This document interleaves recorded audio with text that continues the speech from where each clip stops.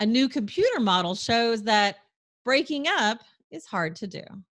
I'm Tonya Hall, and joining me is KT Ramesh, professor of mechanical engineering, director, Hopkins Extreme Materials Institute, Johns Hopkins University. Welcome, KT. Thank you. Nice to be here. So, what does the Extreme Materials Institute do, and how are you involved in outer space research? Sure. So, the institute is a, a, a cross-divisional institute. So, you, you know, if you understand the way universities work, we have an engineering school, the School of Sciences. Uh, in our case, we go between the engineering school, the School of Arts and Sciences, and the Applied Physics Laboratory, uh, which does a lot of outer space work, as you probably know. Um, the, for instance, the New Horizons mission to Pluto, that's from APL, the Applied Physics Lab. So we sit between those three. Our objective is to develop technology that protects uh, people. Uh, our tagline is protecting people, structures, and the planet. We're really interested in extreme events. So those kinds of events that most people try to um, avoid looking at, uh, we are particularly interested in those because that's where we see the really exciting uh, behaviors of materials that most people will avoid. So um, you get extremely high pressures, extremely high temperatures, very short time scales. Those are the fun things for us. Along with other scientists, you took on the question of how much energy does it take to actually destroy an asteroid and break it into pieces? Tell us about the computer model that you developed. Sure. So um, I should back up a little bit on this. So, so we were interested in what it takes to disrupt an asteroid. And it turns out disrupting an asteroid actually has two parts to it. Uh, you, you may want to break the asteroid, but then the question is, does it stay broken or does gravity pull it back together? Our first objective was to understand the disrupt, the, the breaking part. How does it break? And to understand that, we really had to understand how the rocks that make up an asteroid break. So we built a model first for understanding how rocks break, and then we scaled that up to look at how an asteroid would break. So the computational model, uh, it's kind of an interesting problem. If you think about how a rock breaks, right? So it's fracture, it's a crack that propagates through the rock. The question is, where does the crack start? And usually you think about the crack as starting from some kind of a flaw inside the rock. So the rock has a hole in it somewhere that starts a crack. That's how it breaks.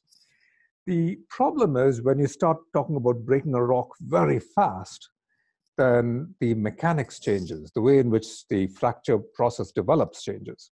Because now the question is not how fast does a crack grow, that's one of the questions, but how many cracks do you have? And how fast do those grow? And do they talk to each other? So think about it this way. If I take a piece of something and try to stretch it to break it, right? If I do it slowly, imagine I have a piece of um, a, a ceramic plate and I pull on it and I stretch it and I do it slowly, it'll break into two pieces. And the place where it'll break is the biggest flaw, the biggest defect in the plate. This is why when you go out and you buy ceramic plates, the company works really hard to have no defects in it, no big defects, so it doesn't break easily. But if I take the same thing and pull on it really fast, then you'll find it breaks into many hundreds of pieces. And that's because a crack will still grow from the biggest defect. But before the crack can break the whole plate, another crack will start from the next defect and the next one down. So it turns out breaking something fast is very different from breaking something slowly. And that's what happens with rocks. So to break a rock dynamically is much harder than breaking it with slow loading. And that then is the problem for asteroids because asteroids are very, very big rocks, very big collections of rocks. So this time scale really matters. And that's what we were trying to do with our computational model was understand how the fracture will propagate across the rocks. Isn't one of the hazards, though, by breaking up an asteroid, that we might turn one threat into a group of threats? It is, absolutely. Uh, it's actually a really important hazard. So, um, if you think about what an asteroid might do to the Earth, right? Um, uh, you, you've got to break this down to two or three different classes of problems. If the, if the asteroid is really small, you know, the size of my laptop, it's just going to burn up in the atmosphere. Nothing to worry about, really. You see a nice flash, you see a meteor, you're happy. Um, gets a little bigger, gets to the size of my room, um, it probably will explode in the atmosphere. You'll get an airburst of some sort. That could cause a shock wave, a blast wave. Those can cause some damage, but it probably doesn't reach the ground. If it gets to a much larger size, a big room, you know, the size of my the, the hall or one floor of the building, now that thing is going to reach the ground. Uh, it might break a little bit in the atmosphere, but parts of it will definitely reach the ground. And if you get big enough, then you'll actually couple into the ground and you'll create a big crater and you'll throw material back up into the air. So depending on the size scale, you can sort of think of it as asteroids that are less than 100 meters, between 100 meters and a kilometer, and bigger than a kilometer in size, those kinds of scales. The dangerous thing for us is the big ones, right? That, that's what we are used to thinking about, uh, like the asteroid that probably killed the dinosaurs. Really big one impacts, it hits the Earth, it throws out a lot of ejecta. The ejecta comes back into the atmosphere, and that causes a lot of damage. It's both the direct impact and the coupling into the atmosphere that causes damage.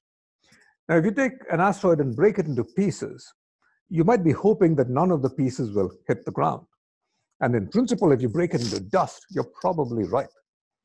But what's going to happen is you're going to take all of that energy and all of that chemistry and couple it into the atmosphere. And generally, the atmosphere is what humans are most sensitive to. You know, we sit on the skin of the planet, right? So we are exposed primarily to what the atmosphere does. You change the atmosphere and we don't like it. So humanity is much more susceptible to big changes in the atmosphere than anything else. So that's the big danger. You can break it up into small pieces, but you start damaging the atmosphere. If we choose to disrupt it or destroy it, to what degree does the asteroid's composition affect the impact and how precise do our measurements need to be for that yeah. composition to, to have to be? You know, this, this is a really good question and we don't have a really good answer. So, so the fact is the asteroid's composition does matter. Uh, it's, it's two sides, the composition and how tightly packed it is. So if it's made mostly of a metal, an iron or something, it'll have one kind of behavior. If it's made mostly of um, very puffy kinds of dust, you know, like volcanic ash stuck together, it'll have a different kind of behavior. They'll disrupt differently, meaning it's harder. To, it's actually harder to break the puffball than it is to break the, the, the solid body because the puffball, you put something off and just goes squish and then comes back. Uh, whereas the, the issue um, with the composition, meaning what it's made of, not just how it's put together, is the chemistry shows up there, right? We don't have a really good idea of what the ranges of compositions are out there. We have some idea because we can see the surface of the asteroid, we can see the spectrum of the asteroid, right?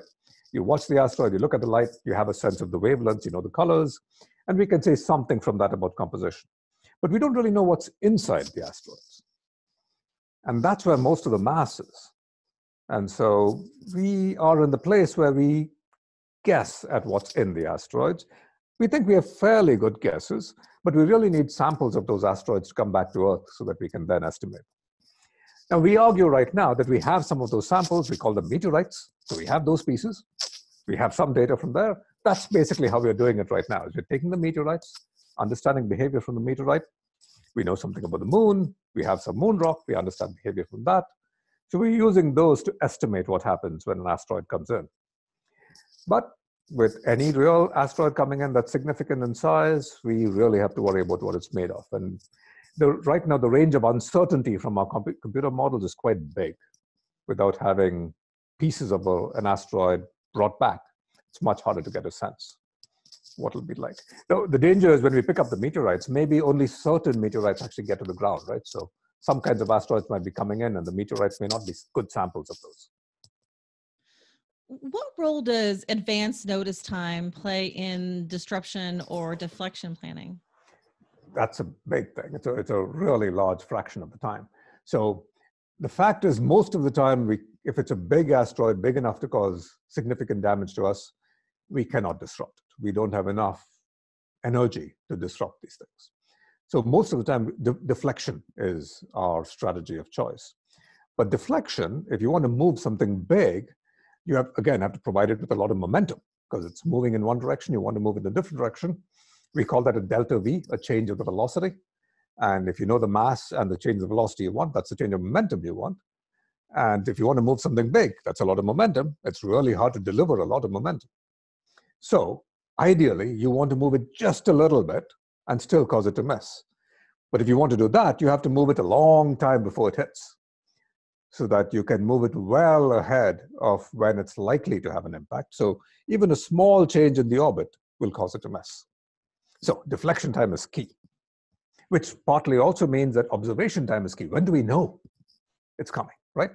So if we only observe it five days before it's going to come in, we really don't have enough time to deflect. If we observe it five years before it's going to come in, now we have a shot. If it's 50 years, we probably can do something. Interesting. KT Ramesh, Director, Hopkins Extreme Materials Institute, Professor of Mechanical Engineering at John Hopkins, Johns Hopkins University. If somebody wants to connect with you, uh, Mr. Ramesh, how can they do that? Easiest way is to come to my website. It's hemi.jhu.edu. And then from there, you can come to my page. That's the easiest way to do it. Sounds good. Thank you so much. And if you guys want to find more of my interviews, you can do that right here or go to tonyahall.net. Thanks for watching.